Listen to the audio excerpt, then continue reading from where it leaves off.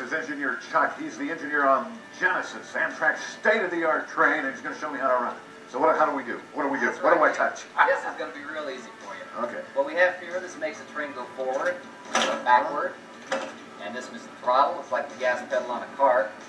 This is your train brakes, keeps the train from going too fast.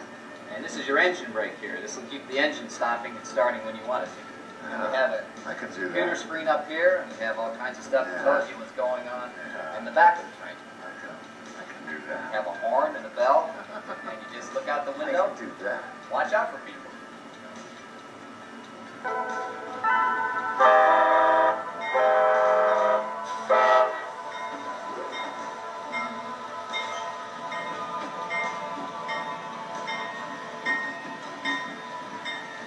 So that's about it. Uh, Dave, we're all cleared to go. Why don't you go ahead and take it away? Dave? Were you listening?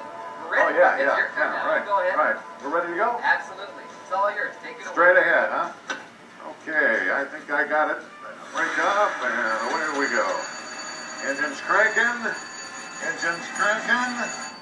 Wait, wait, And, wait, uh, whoa, whoa, whoa. Wait a minute. We're, we're, we're going the wrong way. Other way, other Oh, way. whoa, whoa, whoa. That's it. Oh, Helmet on. sorry, Were you man. I'm listening? sorry. Okay. Guess I, guess Go I ahead. wasn't, I wasn't, I wasn't listening. Uh, let's- Can I try again? You're doing a good job. Take it forward. Forward. That's Okay. it. This comes back, brakes off. And, and away we go. All right. This is great. I just had to play closer attention, that's all. And listen when people are giving you instructions. Now we're moving.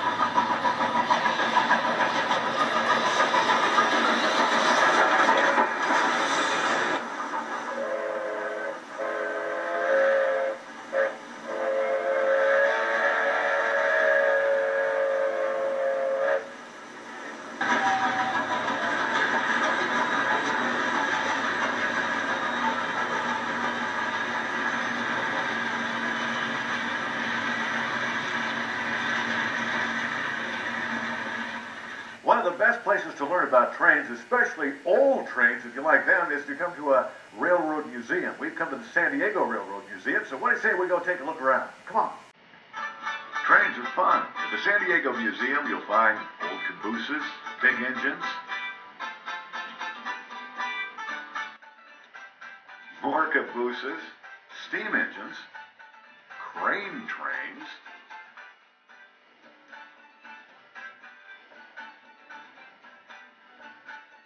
Still more cabooses and more steam engines too.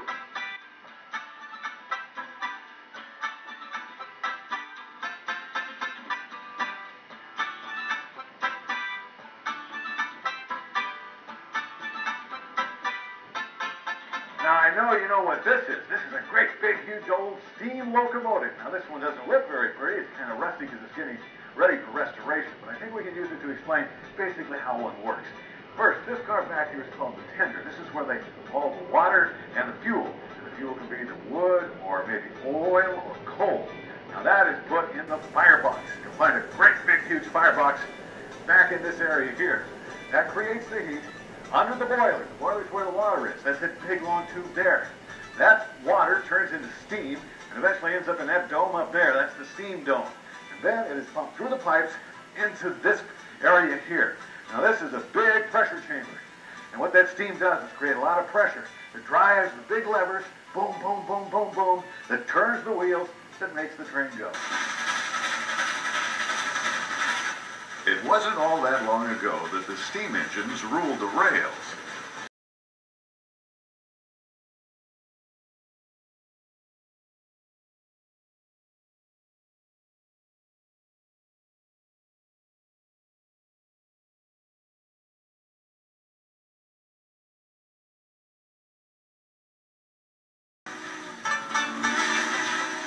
You can see, the train engines come in all shapes and sizes. This little baby here is called an industrial switcher. It's used for moving lighter loads around train yards. It's pretty neat, huh?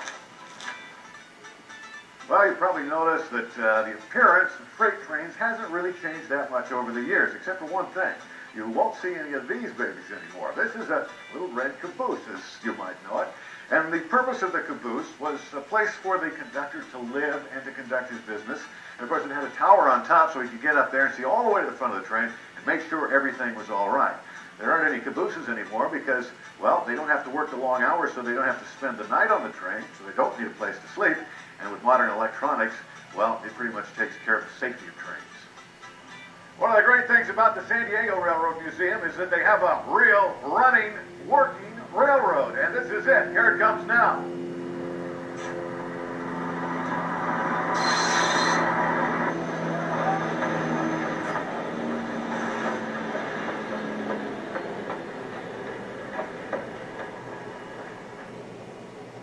Hi kids, my name is Denby Jones. I'm Director of Museum Operations for the San Diego Railroad Museum in Campo, California.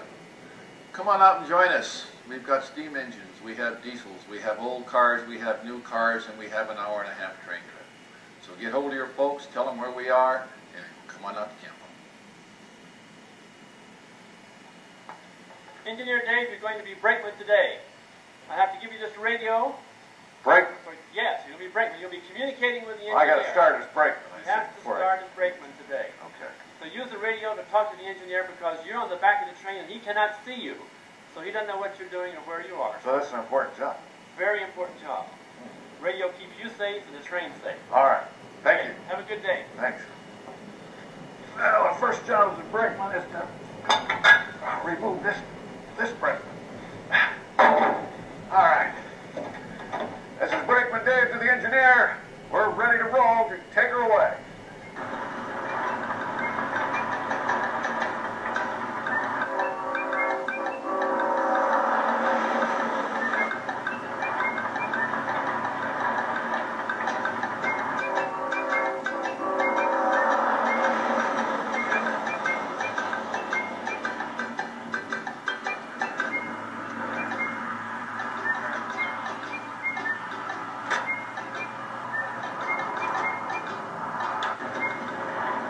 2104, this is Campo Dispatch. Emergency, emergency.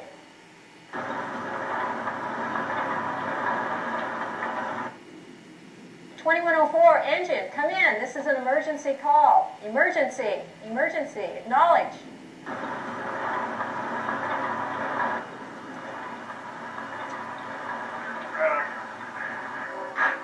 Engine twenty-one oh four, this is Campo Dispatch. Emergency, emergency. Campo Dispatch, this is this is Brakeman Dave. Campo Dispatch to Brakeman Dave. We are unable to contact the engine. You've got to get up to that engine. We've got to stop that train. We have a car on the tracks. Over. There's a car on the tracks. Emergency, What emergency. about the engineer? I'll, I'll call the engineer. This is Brakeman Dave to the engineer. Brakeman Dave to the engineer. We, we got a car on the tracks. Brakeman Dave to the engineer. This radio must be broken. I'm gonna have to get to the front of the train and stop it myself.